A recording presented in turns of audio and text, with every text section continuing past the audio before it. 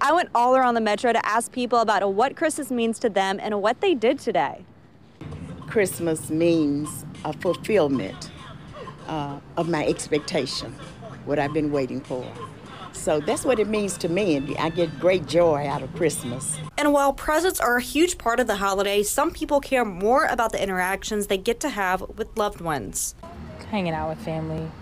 It's not really about the presents. I don't really like, I mean, I like presents, but they don't really mean nothing like that to me. Some families travel miles to see each other, and one aunt is getting to physically be with her niece in person for Christmas. Getting to bond with my, my niece that I'm seeing grow up at a distance, but every time I see her, she's a little bit older and a little bit more mature, and it's a lot of fun.